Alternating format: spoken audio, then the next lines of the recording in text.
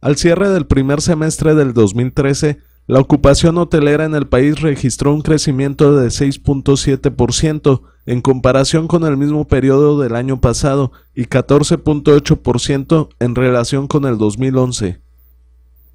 De acuerdo con el Sistema Nacional de la Información Estadística del Sector Turismo de México, Datatur, al 30 de junio de este año, el promedio de cuartos de hotel ocupados en los 70 principales destinos turísticos ascendió a 194.038, mientras que en el mismo lapso de 2012 fue de 181.787 y de 169.088 en 2011.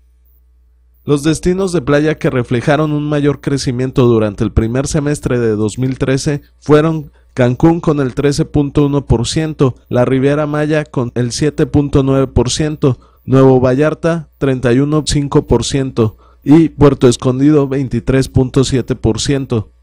En cuanto a grandes ciudades, las que reportaron mejores números fueron la Ciudad de México con el 6.3%, Monterrey con el 10.1% y Guadalajara 6.4%. Respecto a ciudades del interior del país, las que tuvieron mayor crecimiento fueron Puebla con 22.8%, Querétaro 12.1% y Aguascalientes el 18.2%. Durante la semana 26, que comprende del 24 al 30 de junio de 2013, los 70 destinos monitoreados por el sistema DataTour aumentaron su número de cuartos ocupados en 14.1% con respecto a la misma semana de 2012.